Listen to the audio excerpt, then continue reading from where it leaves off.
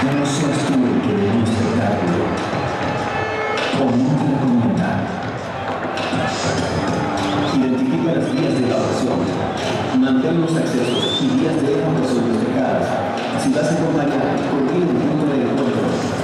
No pierdas de vista a tus niños. No botes basura al suelo, pues entorpece el desplazamiento. Aléjate de posibles peleas o discusiones. En caso de emergencia, estas la calma y respeta a quien tienes al lado. Ayuda a ancianos, niños,